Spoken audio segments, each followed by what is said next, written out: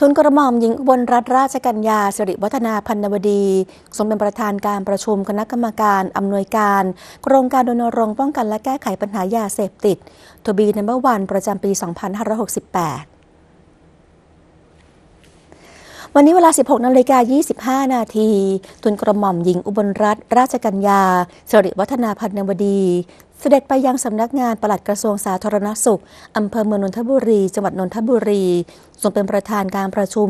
คณะกรรมการอำนวยการ โครงการรณรงค์ป้องกันและแก้ไขปัญหายาเสพติดทูบีนัมเบอร์วันประจำปี 2568 เพื่อให้ทุกหน่วยงานที่มีส่วนร่วมในการดำเนินโครงการได้รายงานผลการดำเนินงานในปี 2567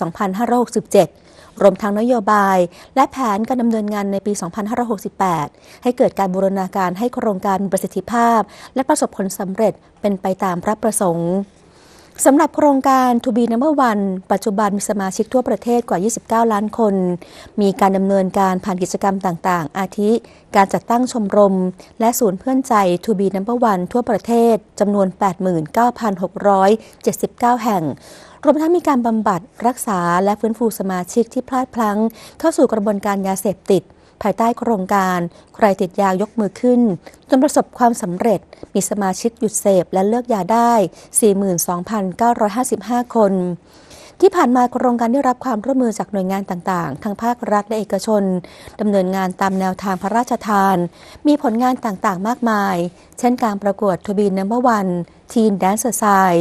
TO BE NUMBER ONE Idol และค่ายพัฒนาสมาชิกทูบีนัมเบอร์วันแคมป์ทำให้สมาชิกมีพัฒนาการที่ดีขึ้น สามารถนำความรู้ทักษะและสมรรถนะไปถ่ายทอดให้กับเพื่อนสมาชิกได้ นอกจากนี้ยังมีการจัดสัมมนาเครือข่าย รวมทั้งการผลิตพัฒนา และปรับปรุงสื่อองค์ความรู้สำหรับแกนนำและสมาชิก เพื่อรับมือกับการบูลลี่ หรือการกันแกล้ง ที่แสดงออกด้วยคำพูด หรือพฤติกรรมที่ก้าวร้าวต่อผู้อื่น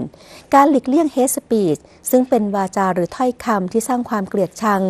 และการสร้าง self-esteem ที่สามารถสร้างความภาคภูมิใจในตนเอง หรือการเห็นคุณค่าในตัวเองเป็นต้น สำหรับแผนการดำเนินงานในปี 2568 กระทรวงการอุดมศึกษาวิทยาศาสตร์ วิจัยและนวัตกรรม ได้เข้าร่วมดำเนินการ